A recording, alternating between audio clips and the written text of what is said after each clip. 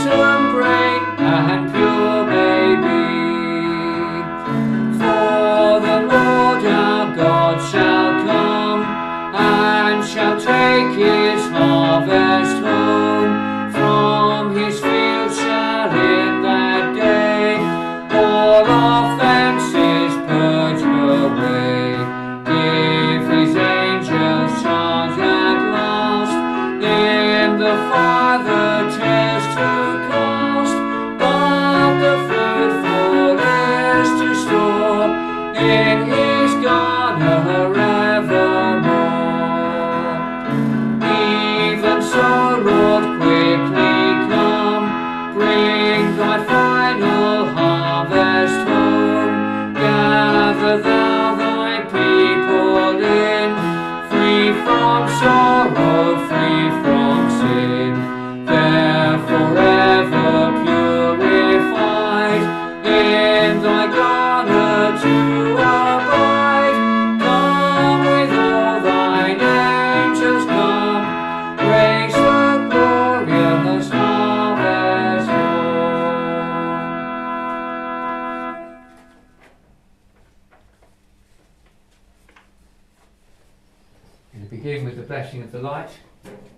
we'll sing Light of Gladness, Lord of Glory. The Lord is my light and my salvation. My God shall make my darkness to be bright. The light and peace of Jesus Christ be with you all.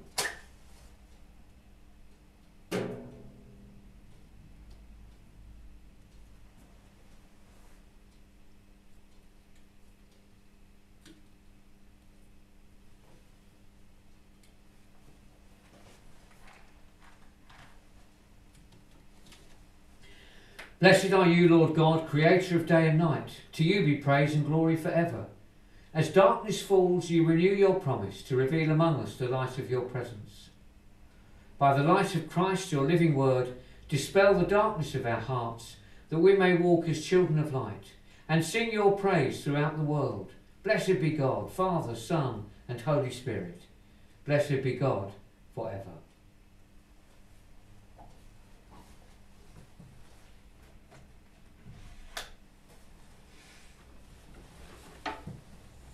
Now let's sing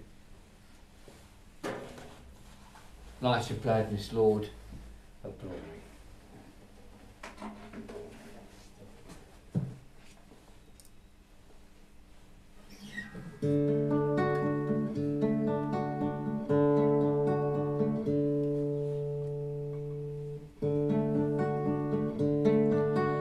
Light of gladness, Lord of glory, King most holy, shine among us in your mercy. Earth and heaven join their hymn.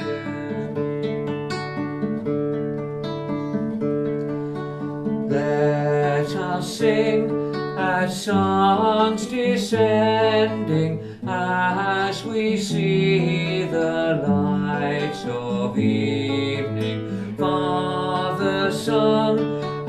Spirit praising with the holy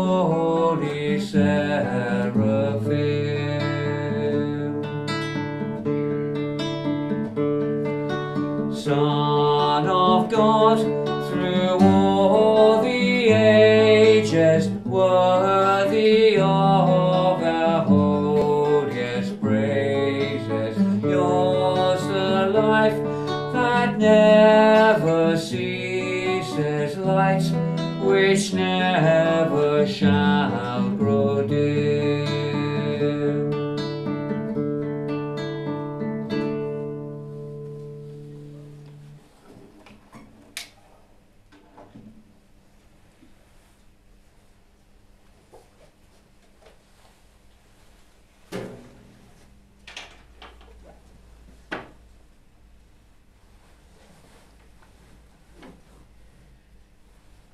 Prayer rise before you as incense, the lifting up of my hands as the evening sacrifice. O Lord, I call to you, come to me quickly. Hear my voice when I cry to you. Set a watch before my mouth, O Lord, and guard the door of my lips. Let my prayer rise before you as incense, the lifting up of my hands as the evening sacrifice. Let not my heart incline to any evil thing. Let me not be occupied in wickedness with evildoers. But my eyes are turned to you, Lord God. In you I take refuge. Do not leave me defenceless. Let my prayer rise before you as incense, the lifting up of my hands as the evening sacrifice. That this evening may be holy, good, and peaceful, let us pray with one heart and mind.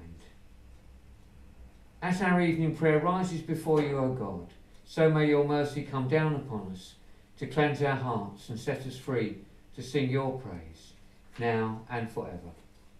Amen.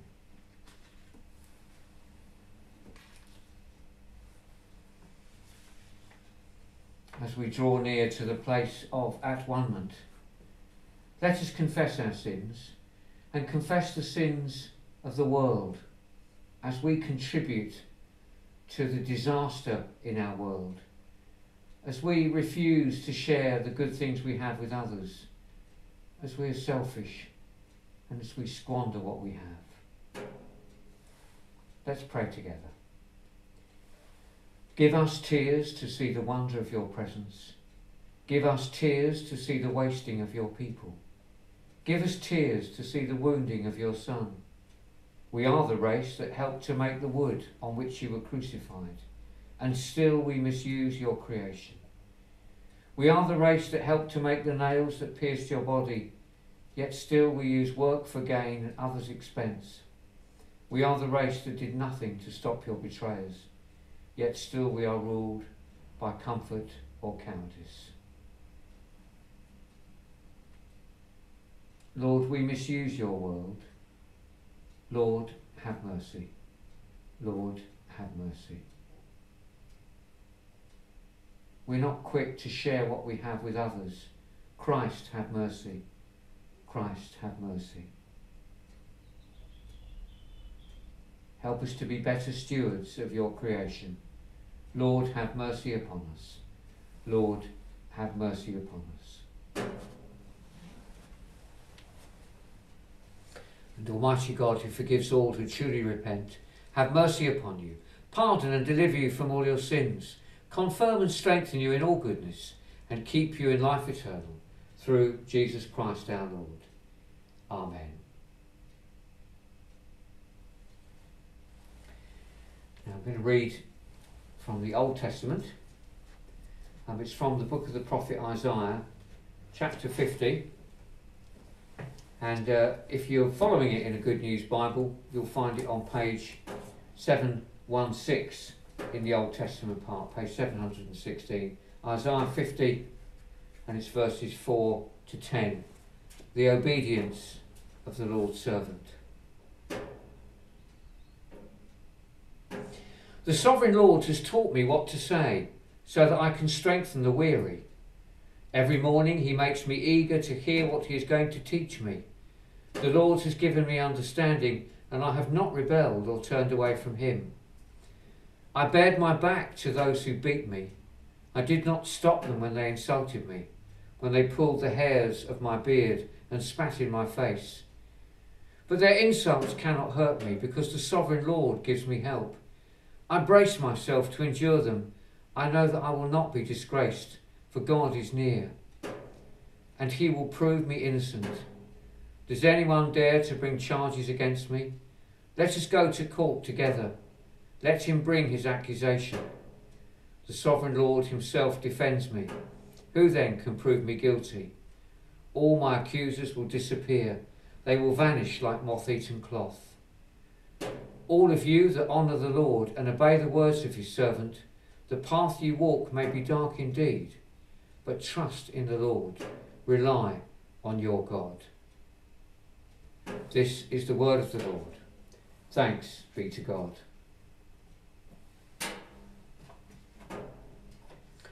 Now, in place of the psalm, we're going to sing You Shall Go Out with Joy. Um, no, we're not, sorry. We're going to sing To Thee, O Lord, Our Hearts We Raise. This has got um, elements of the psalm in it. Again, it's a beautiful uh, harvest hymn, I believe. And um, it's just saying that all the creation is all there to be praised and to be glorified. But unless we toil for the Lord, unless we share it with others, then um, it all is to no avail. But we look forward to that time when we will be with the Lord forever.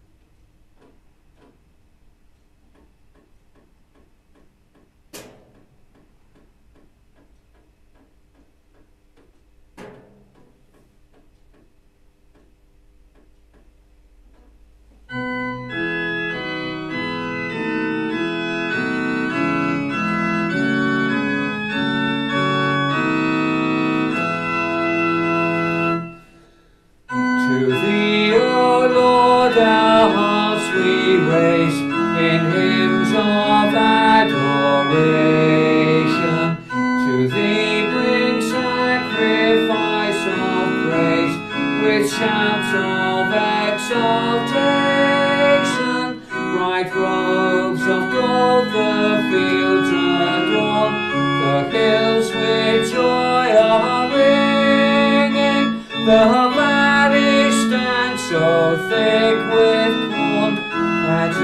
at the last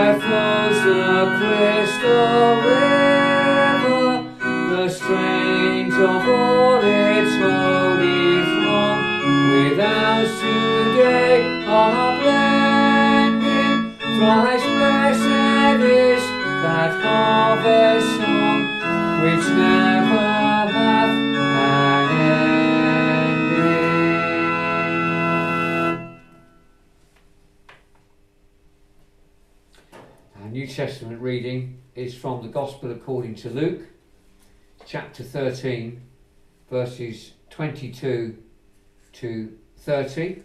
You'll find it on page 97 in the Good News Bible New Testament if you're following it in that particular version. Luke chapter 13, verse 22, and it's headed The Narrow Door. Jesus went through towns and villages, teaching the people and making his way towards Jerusalem. Someone asked him, Sir, will just a few people be saved? Jesus answered them, Do your best to go in through the narrow door, because many people will surely try to go in, but will not be able. The master of the house will get up and close the door. Then, when you stand outside and begin to knock on the door and say, Open the door for us, sir, he will answer you, I don't know where you come from. Then you will answer, We ate and drank with you. You taught in our town. But he will say again, I don't know where you come from. Get away from me, all you wicked people. How you will cry and grind your teeth when you see Abraham, Isaac, and Jacob, and all the prophets in the kingdom of God, while you are thrown out.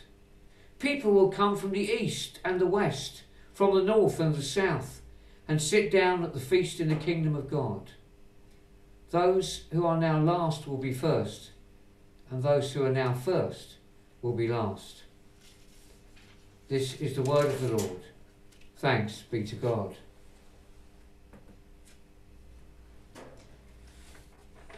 Now, if you have the order of service, let's respond to that by using the words of Mary in the Magnificat. My soul proclaims the greatness of the Lord. My spirit rejoices in God my Saviour. He has looked with favour on his lowly servant. From this day all generations will call me blessed. The Almighty has done great things for me, and holy is his name. He has mercy on those who fear him from generation to generation. He has shown strength with his arm, and to scatter the proud in their conceit, casting down the mighty from their thrones, and lifting up the lowly. He has filled the hungry with good things, and sent the rich away empty. He has come to the aid of his servant Israel to remember his promise of mercy, the promise made to our ancestors, to Abraham and his children forever. Glory to the Father, and to the Son, and to the Holy Spirit, as it was in the beginning, is now, and shall be forever. Amen.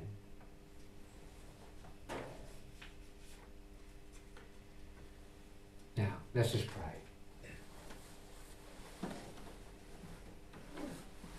pray. First of all, Jesus taught us to call God our Father, and so in faith and trust we say, Our Father in heaven, hallowed be your name. Your kingdom come, your will be done, on earth as in heaven. Give us today our daily bread. Forgive us our sins, as we forgive those who sin against us. Lead us not into temptation, but deliver us from evil. For the kingdom, the power, and the glory are yours, now and forever. Amen. Eternal God, you crown the year with your goodness. You give us the fruits of the earth in their season. Grant that we may use them to your glory, for the relief of those in need, and for our own well-being. Through Jesus Christ, your Son, our Lord, who is alive and reigns with you in the unity of the Holy Spirit, one God, now and forever. Amen.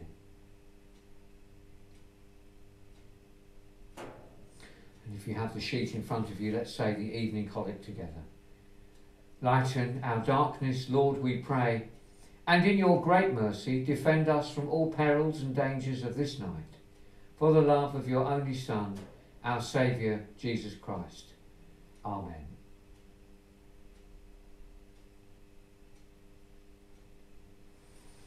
Lord, on this our festal day, we come to you and we acknowledge and rejoice in what your wonderful world produces. I know we take it for granted, but next time we're sitting eating a meal, help us to appreciate where all this incredible food has come from. That somebody grew it, that somebody raised the animal, that somebody put it all together and got it into a shop so that we could buy it and eat it. And as we enjoy our meal times, help us to think of those who have very little, those who have nothing, and pray that we will be generous enough to share what we have with them and to give them the bare necessities of life so they will be able to enjoy and eat and know that they are living for you.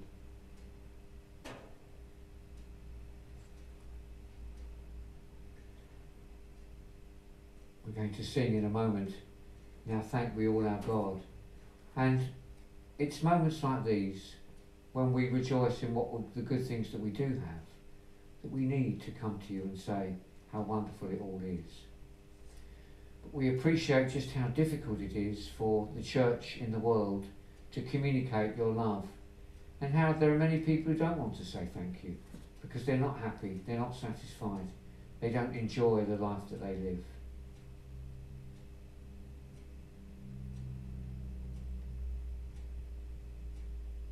We pray for that church, your wonderful church, trying so hard to communicate the good news of your love across the world. And this week especially we pray for the Church of England in Gloucester Diocese. We pray for the church in Scotland, West Africa, the USA, Australia, Burundi and South Sudan. In our own Diocese of Chelmsford we pray for the Deanery of Witham and we pray for the Right Reverend Roger Morris, the Bishop of Colchester and our diocesan bishop, the Right Reverend Guli Francis-Dehqani. And pray for Bishop John, Bishop of Bradwell, as he has contracted COVID. Fortunately, he's not suffering too badly, but he is suffering. And we pray, Lord, that you would deliver him from this disease and bring him back to work amongst us. We pray for the world, the world into which Christ came, the world that's broken and damaged and selfish and not sharing what it has with others. Lord, as each place reaps its harvest, we pray that every country will be prepared to share what it has with those within its country that don't have much and those beyond its borders who are struggling. And where crops have been destroyed by wind and rain and bad weather and hurricanes and by lava flows from volcanoes. We pray, Lord, that all these natural disasters would remind us that we have a world we need to look after and we need to address issues of global warming.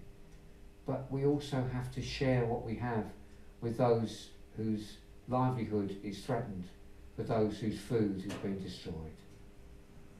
And especially in those countries where there is still war and conflict and terrorism, we pray that sense and sanity and justice will reign so that peace may be established. We pray for our parish and our community. Um, it was lovely to worship up at St Peter's this afternoon. It would be great to bring more people together to worship you. And we pray that as we move forward, that would be a reality.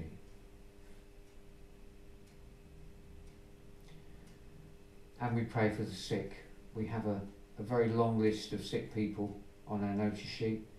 Perhaps we could just pause and look at those names. And pray too for our own Doreen Fairman, who's not well at present.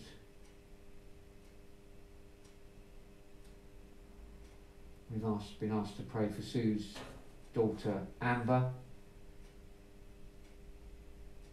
And of course all the other names on the list. So let's look at them and pause and bring them before the Lord.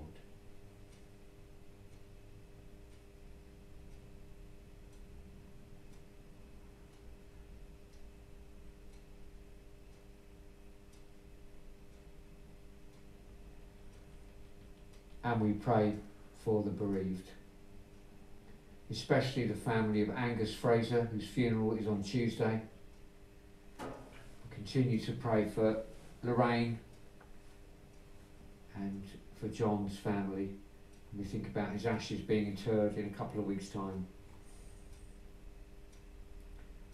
Pray for Richard, who's uh, facing a difficult anniversary.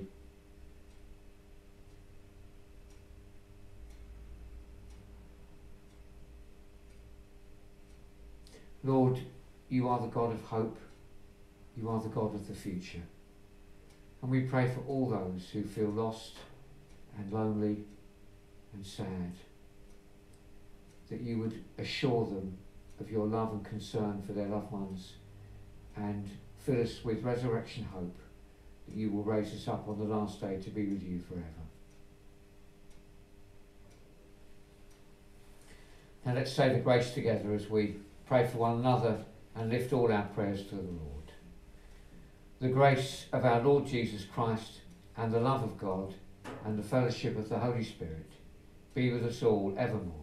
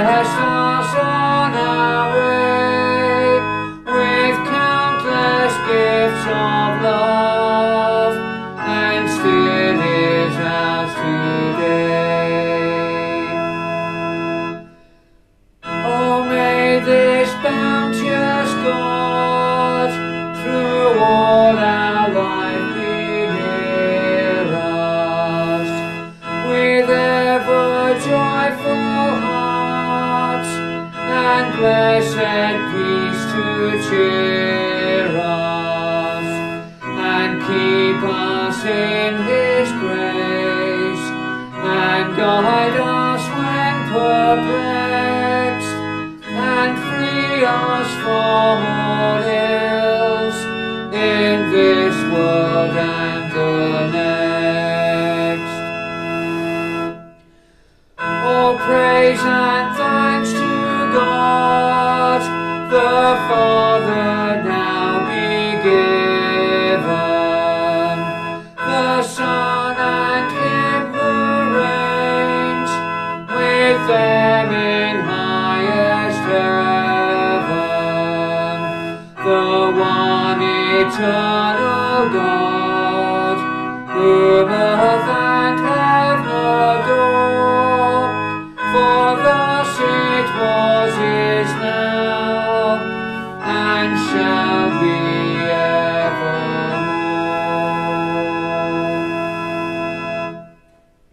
May the words of my mouth and the thoughts and meditations of all our hearts be now and always acceptable in your sight, O Lord, our strength and our Redeemer. Amen.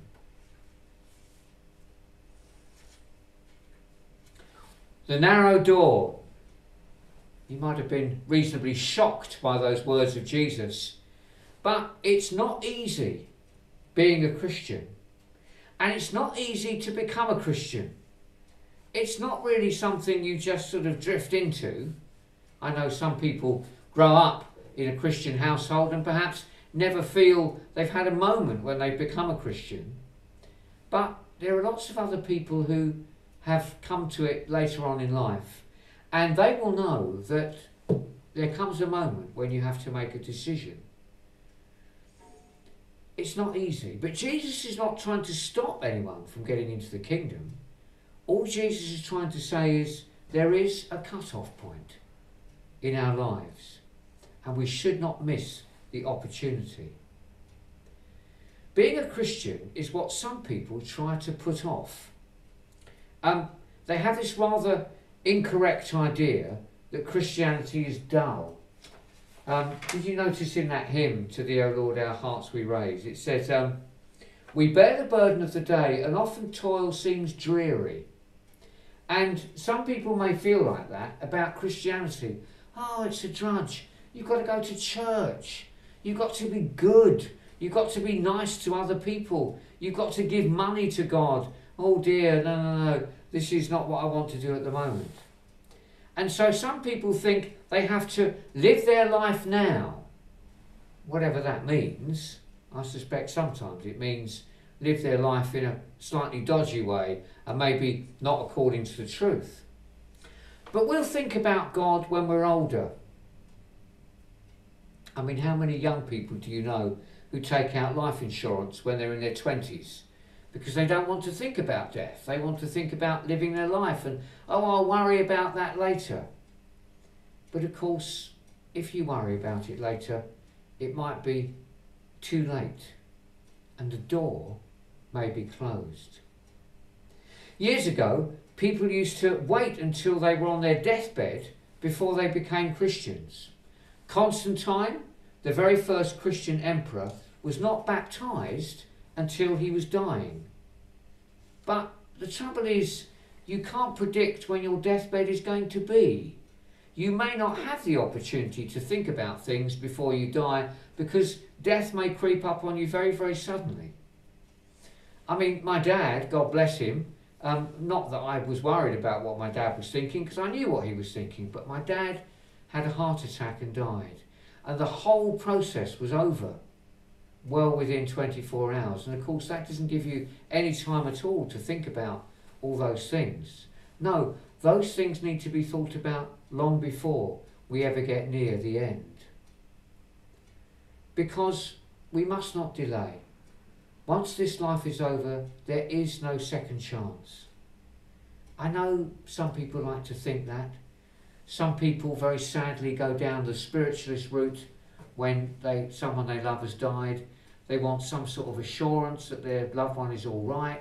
They want some sort of sign from somewhere else that everything is okay. Well, everything is okay because when our loved ones die, we commend them to God's care and God is looking after them. They're not wandering about sending inane messages back to earth. They're with the Lord and they will remain with the Lord in his care until that great day when we're all raised up to be with him forever. But what we have to bear in mind is the decisions that we make now are the decisions that we take with us. There is no in-between world. There's no sort of uh, check and balance when we get through um, the gates, you know, to, to, to readjust what we've done. No. What we think now and what we do now and what we believe now and the choices that we make now are what we take with us into eternity. So watch out because that narrow door may not be open forever. Jesus died once and for all for all of us. And he is risen from the dead to give us the gift of life. He is waiting with arms open wide to greet us. Now, it may be hard to get through the narrow door, but that narrow door is open, and Jesus is waiting for us to squeeze through, squeeze away from all the pain of this world, which is trying to stop us and thwart us, so that we can go with Him. Don't leave it too long. Don't wait until the end, because the door may be closed and you may have missed the opportunity to commit your life to Jesus. I know that you have, and I rejoice with you about that commitment. There are many people out there who haven't done it yet and they need to be saved.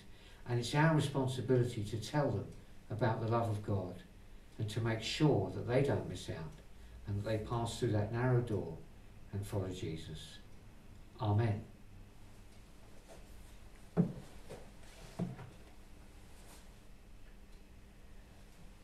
Now, we really are going to sing You Should Go Out with Joy. I know I nearly had it earlier, but um, it is the most appropriate song to sing as we finish. Um, if you're working off the sheet, you've got the words there. Um, if you're in the book, it's uh, Songs of Fellowship 640 or Hymns Old and New 571. And we'll sing it a few times. And as you probably remember, it's supposed to get faster as we go through.